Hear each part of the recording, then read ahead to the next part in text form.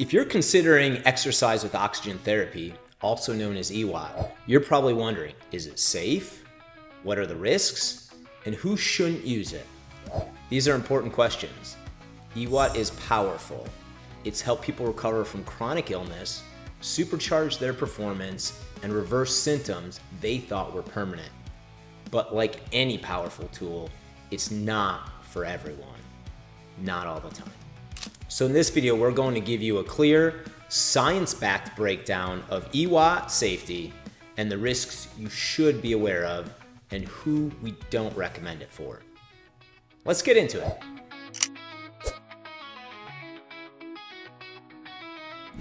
EWOT stands for Exercise with Oxygen Therapy. At its core, it's a method of breathing high concentrations of oxygen, 93%, while engaging in physical activity. And the effects, they're profound.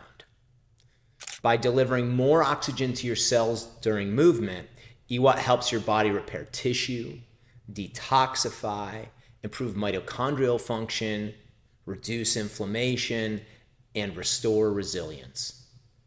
People use it for everything from long COVID recovery to anti aging to athletic training.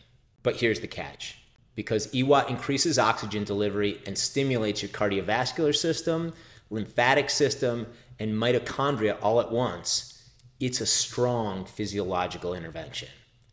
And that's exactly why people ask is it safe? The short answer is yes. EWOT is very safe if used correctly.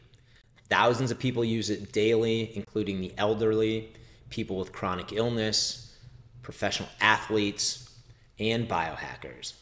When you follow the correct protocols and use properly designed system, one that delivers 93% oxygen with adequate flow rate, filtration, and mask seal, EWOT is well tolerated and remarkably low risk.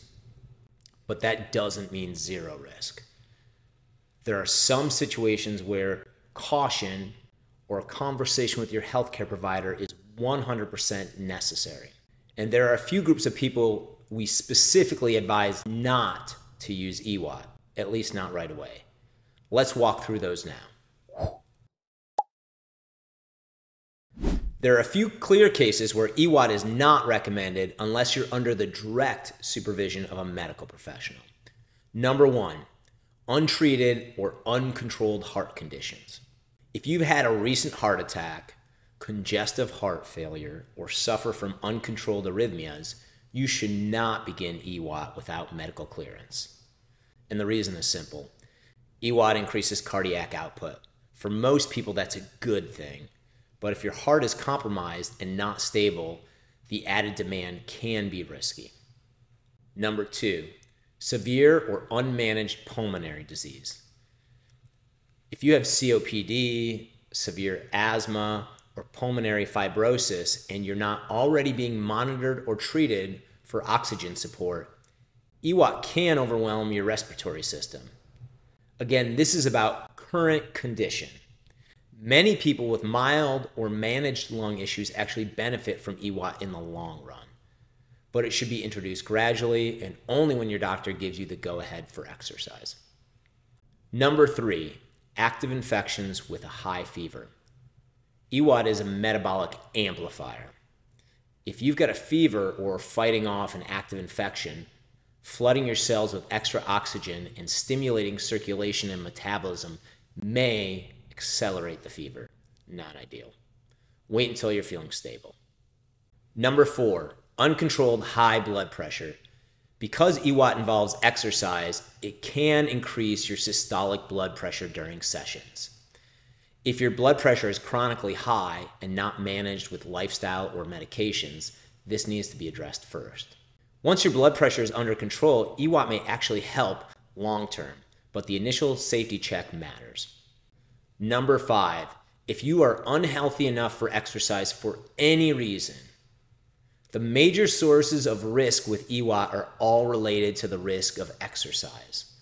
For most folks, exercise is healthy and beneficial. However, if you are not healthy enough to exercise for any other reason, you should not attempt to do EWOT.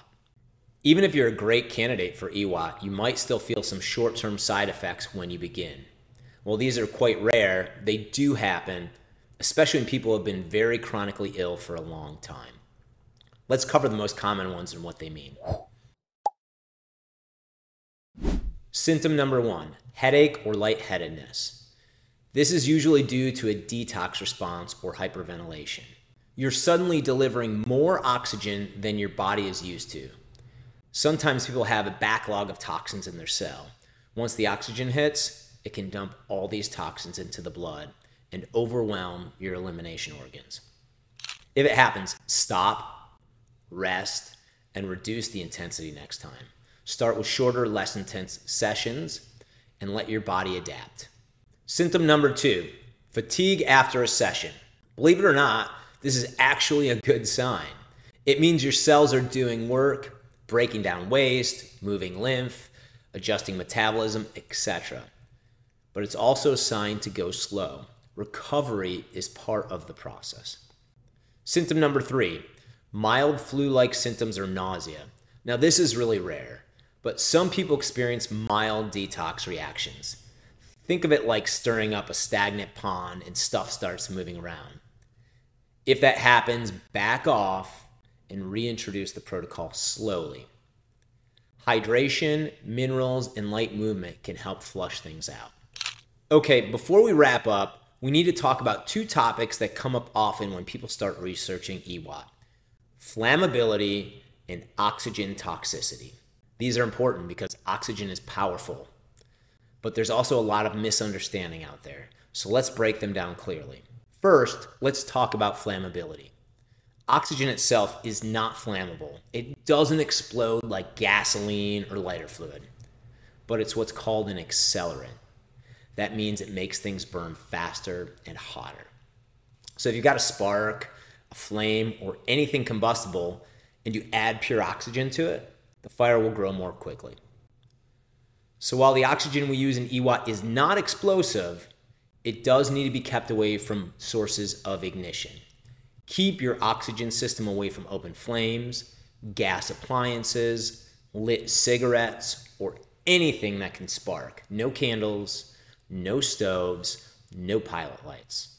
Of course, if there's a fire in your home large enough to burn through the reservoir, you already have a large safety risk and should be exiting the building. It's not a high risk if you're using it properly, but don't get casual around fire. Respect the gear and you'll be fine. Next, oxygen toxicity. Is this something you need to worry about with EWOT? Now, this one's a little more nuanced. Yes, oxygen toxicity is a real thing. It happens in environments where extremely high concentrations of oxygen are consumed continuously for long periods. Think under pressure deep sea diving with an enriched oxygen tank, or being on a ventilator with 100% oxygen for hours. But with EWOT, the risk is essentially non existent, and here's why. First, our oxygen reservoirs don't contain nearly enough oxygen to create a toxic exposure. Even if you use the entire system without interruption, the dose of oxygen simply isn't high enough or long enough to cause oxygen toxicity. Second, and this is important, EWOT is always done while exercising. And when you move, your body is producing a massive amount of carbon dioxide. CO2 plays a crucial role in oxygen metabolism. It acts as a buffer, helping to regulate how much oxygen is actually absorbed by your tissues. It keeps oxygen from building up in the bloodstream in a way that could be dangerous. So, even though you're breathing 93% oxygen during your session, the presence of carbon dioxide from the exercise and the natural respiratory exchange happening during exercise ensures that oxygen doesn't get trapped in the body at a toxic level. Bottom line, oxygen toxicity isn't a concern with EWOT because the physiology of exercise prevents it.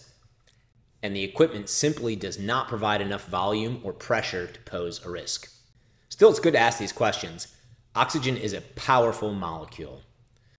But when you understand how to use it safely and effectively, it becomes one of the most transformative healing tools you can use. So, how do you make sure you're using EWOT safely at home? Here are a few tips to follow. One, follow basic safety. Keep it away from any sources of flames or sparks. Two, start slow.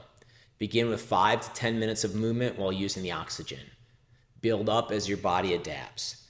This isn't about intensity, it's about consistency. Three, use the right equipment.